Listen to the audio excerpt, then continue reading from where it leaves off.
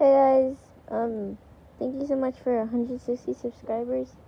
Um, I won't be animating for like a couple of weeks or so because um, I'm too busy and animating is hard.